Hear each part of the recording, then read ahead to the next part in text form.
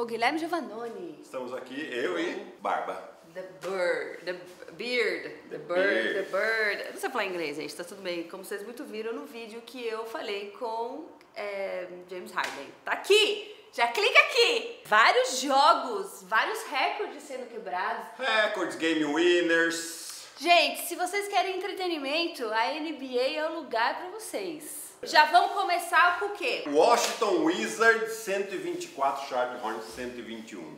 Parece um jogo meio chablau, Ah, mas a gente quer falar do Caio Kuzma. Ele tem sido um dos jogadores mais clutches da NBA. O que é clutch? É quando o cara pontua naqueles últimos 5 minutos do jogo, quando a diferença do jogo tá 5 pontos ou menos. Quando Ou precisa. seja, quando precisa. Exatamente. É isso mesmo. E aí eu quero perguntar pra você sobre Hum. a importância dele sair do Los Angeles Lakers. Foi campeão do Los Angeles Lakers e foi trocado. As pessoas em choque, teve até piadinha dele com o Cleveland. Ele só foi campeão por causa do LeBron James. Ele falou, é verdade, vocês também. Ah, ah, ah, e aí, o que às vezes pode parecer muito ruim, né, para um jogador novo que nem ele, falar, nossa, acabei, pô, tô num time aqui campeão, fui campeão, mas sabemos que não é na condição que ele tá hoje jogando e a importância dele ter saído e ter dado, ter tido responsa- responsabilidades. que muita gente acha que foi um passo para trás. Pode parecer um passo para trás, mas às vezes na vida a gente tem que dar um passo para trás para ganhar impulso. A flecha.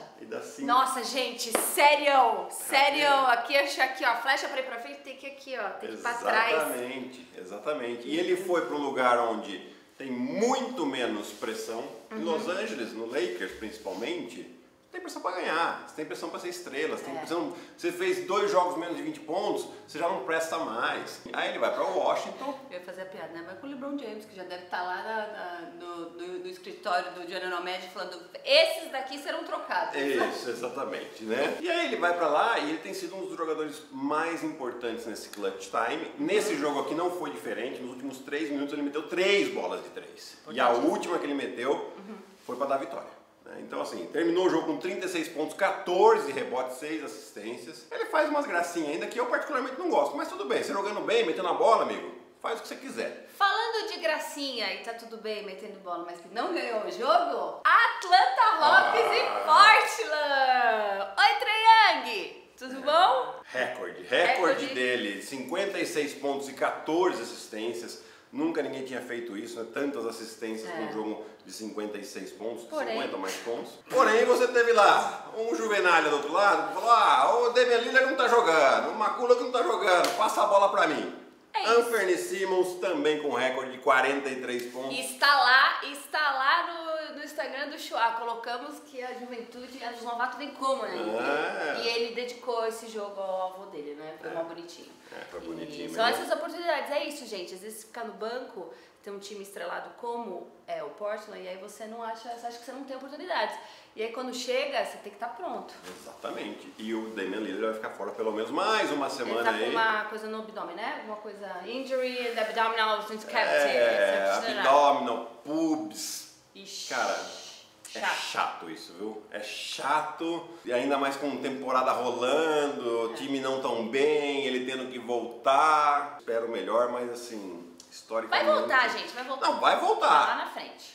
Vai voltar. Porém, vai, vai se arrastar um pouquinho essa lesão aí, viu? Terça-feira a gente não decidiu falar de nenhum jogo, mas eu quero só falar um negócio, porque Hum. na terça-feira teve os palpites. E aí você falou, escolhe aí, vai, vamos ver aí. E aí eu fui, fui, fui, fui, fui, e o último jogo era Sacramento Kings e Los Angeles Lakers.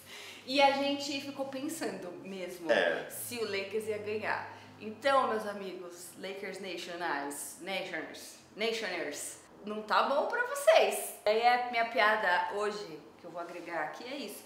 É, eu tive que pensar se o Lakers ia ganhar do Sacramento. E você também. Você É, também. Não, teve um outro jogo aí que a gente tem uma discordância aí. Não, mas tô falando que esse a gente Ah, pesou. a gente- a, a gente, gente- falou, a gente- nossa, se a gente tá pensando é porque não tá bom pro Lakers. Tudo É. pode acontecer. Tá bom, é isso. É isso. Quarta-feira. Quarta-feira, já estou aqui em Houston Rockets e Washington Wizards. Uhum.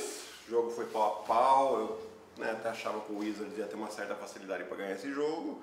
O que não aconteceu, porque o Kevin Porter Jr. na última bola fez um step back bonito ali. E você vê, né? A gente fala, a gente tende, né? A falar, ah, foi na cara do Raulzinho, mas o Raulzinho não tinha outra coisa ele fazer. Ele Gente, marcou pra caramba. se e tem ele outra tá coisa. jogando lá, E para. tem outra coisa, ó a responsabilidade dele, defensiva. É, exatamente. Então- Mas estão zoando? Ah. Estão zoando ele, gente, presta atenção. Brooklyn Nets Indiana Pacers. Jogo de ontem, volta do Kyrie Irving. Eu não sei nem o que falar pra vocês. Ele só pode jogar fora de casa porque ele não se vacinou. É um misto de emoções. É, é tipo, não faz sentido. Sério. É, pra mim é inconcebível isso. Ele e Novak Djokovic, sério. Sério, caras. Jogou bem. Jogou nem- 22 quero nem falar pontos. muito. Quero nem falar, beleza. Kevin Durant mais uma vez segurou o time todo. Eu, eu tenho, eu tenho preguiça de falar agora. É que é o cara do- seguinte, é que é o seguinte, o, no, no terceiro e no quarto quarto, na verdade assim, é da metade do terceiro e É. quarto quarto pra frente, tá? Mas assim, o Brooklyn Ah. ganhou aí com uma diferença de 20 pontos só nesses dois períodos. É. Estavam perdendo o jogo. Mas eles têm muito poderio ofensivo, né? Então, Muito. então é muito fácil pra eles também reorganizarem o rolê e aquele negócio, tá ganhando de 20 não quer dizer nada, beleza? Tá bom, é só isso que eu quero falar, porque o Kyrie tá me irritando. Tá bom. Tem mais alguma coisa pra Tem, você falar? tem. Vamos falar da parte mais importante, Ah, por favor. Que é um dos jogadores mais incríveis que essa liga teve. E merece todas as homenagens, merece muito o que aconteceu com ele. Quem é? Dirk Nowitzki, 21 temporadas com o Dallas Mavericks, sexto maior cestinha de toda a história da NBA, MVP, MVP de finais, colocou o Dallas Mavericks no mapa da NBA porque não tinha título nenhum, chegou a duas finais, uma perdeu para o Miami lá em 2006, né, que, não, que era Shaquille O'Neal e Dwayne Wade, e daí quando eles montaram aquele super time lá, ele falou, não, não, não, não, não, não, não. eu também lá na outra emissora, porque é muito legal isso e você não faz outra emissora isso. Ah, porque tem que- É, eu acho muito que- engraçado. Eu acho engraçado isso. Ah, E aí, obviamente, justamente o número 41 tá lá em cima agora no ginásio do Dallas E não Mavericks. só isso, ele ganhou uma estátua que vai ficar na Ah. frente do ginásio, porque ele tem um movimento maravilhoso que é o step back. Step Não, back é não, o que é fade fade away. away. Fade away. E pra mim tinha que ser o logo da NBA. Sei lá, joguei aqui. É, poderia ser mesmo. Joguei aqui, poderia. E foi incrível e é um cara que mereceu, merece, mereceu todo o respeito da liga, de todos os jogadores. Fudidaço, não tô nem aí, falei palavrão fudidaço. E o Dallas ganhou do Golden State Warriors com o Stephen Curry, dois jogos que ele não consegue pontuar, gente. Acontece também nos É. melhores. Acontece, gente. Mas. Um de nove dos três pontos pra ele. Ai, not a good day, not a good day. Não era good day, mas mantém aí a sequência. Acho que são 160 jogos com pelo menos uma bola de três. Tudo bem, uma bola de três ele garante. Agora todo dia é dia de recorde pro, pro Stephen É. Curry. Todo dia é dia de festa e alegria. É Ponto isso aí, né? E o Golden State tá na expectativa Domingão, Cleiton tá aí. Gente, o homem vai voltar! Eu nem sei o que dizer. Mas vamos falar do Dallas. Ah, Porque o. Dallas, poxa, Com o menino né, ficou entusiasmadíssimo com essa história do, Não, Tá. tinha que ganhar. Tinha que ganhar. Era um dia importante. Ganharam, o menino Don't 26 pontos, 7 rebotes e 8 assistências. O Dallas já tem 4 vitórias consecutivas. Parece que vai engatando aí, apesar do Porzingis não ter jogado ontem, tá no protocolo de saúde e segurança da liga.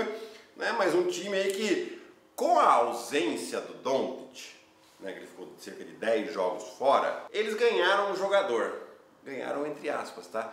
Jalen Brunson, que é o armador reserva, agora do jogo É. tá, tá assim. É, aquilo que a gente falou, você precisa só de uma oportunidade. E o nosso menino tava muito que monopolizando essa bola aí e saiu machucado também, não voltou, o tornozelo saiu um deu. minuto e meio. É, mas tá bom, saiu machucado, não voltou, mas tá tudo bem.